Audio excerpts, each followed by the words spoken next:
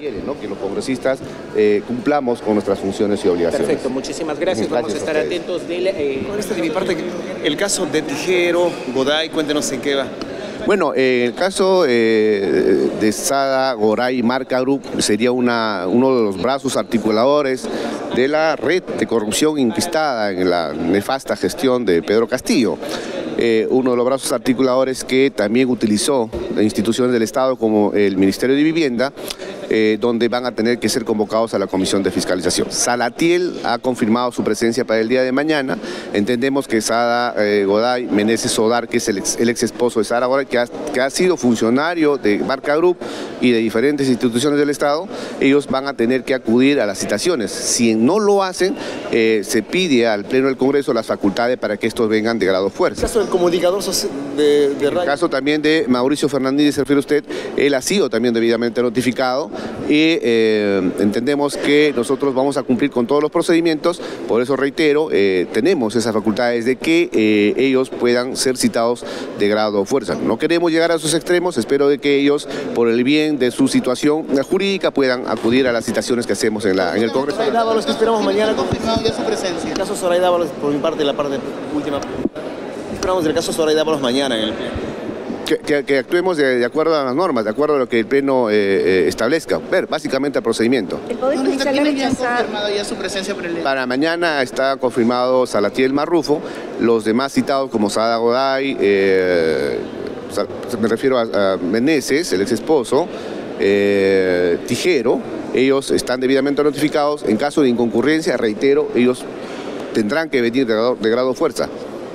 Se cae esta pretensión del Congreso Bellido de pedir amnistía eh, para el expresidente eh, ante esta decisión del Poder Judicial que ha rechazado un nuevo recurso que buscaba que se resuelva que no existe una imputación concreta en el delito del golpe de Estado. Estamos hablando del delito de rebelión y conspiración. Eh, eh, disculpe que lance una pequeña sonrisa, porque eh, acá, eh, hay que ser este, eh, serio, ¿no? sincero, pero lo que dicen estos eh, congresistas a veces ya causa esta, eh, digamos, estas acciones de, de- circenses que en su momento dijeron de que el congresista, el expresidente había tomado un brebaje, de que no había descansado bien, ahora de que alguien ha, pretendido este, atentar contra su vida, carentes, eh, sin, sin asidero real. Así que nosotros los congresistas debemos actuar de acuerdo al, marco normativo, no estamos supeditados a las normas.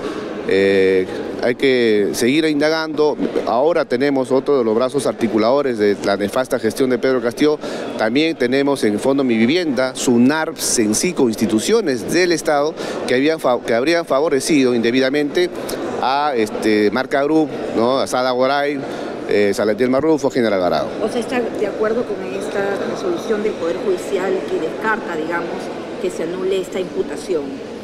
El, po- el Poder Judicial está, está actuando, debe, tiene la obligación de actuar de acuerdo a, la ley. Y aquí jamás, eh, jamás eh, eh, hubo, digamos, una, un intento de, este, de obstruir la gestión del expresidente Pedro Castillo. Todo lo contrario, nosotros, eh, ustedes han sido testigos de, aquel 7 de diciembre cuando Salatiel Marrufo narraba todo esa, eh, el ingreso de dinero oscuro que venía de Marca Group, donde estaba involucrado el expresidente Pedro Castillo. En su desesperación, Pedro Castillo intenta eh, cerrar el Congreso fallidamente y ya, bueno, todos conocemos el desenlace, ¿no? ¿Qué le ha qué le ha parecido justamente lo que la Fiscalía ha dado a conocer, esa advertencia, esa alerta que la señora Chávez, la ex premier, habría mentido al juzgado, dando a conocer que algunas propiedades eran suyas y en la actualidad se puede comprobar que no, incluso una ha sido vendida?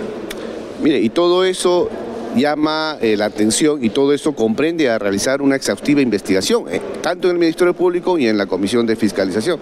Así que hay mucho que investigar respecto de la señora este, Chávez. Habría participado en este intento de Pedro Castillo para eh, cerrar indebidamente el Congreso, rompiendo el orden democrático, así que que, en su momento eh, se les den las- una drástica sanción ejemplar. ¿Cómo ha tomado usted la justificación del presidente Corpac en el sentido de que está con gripe y por eso no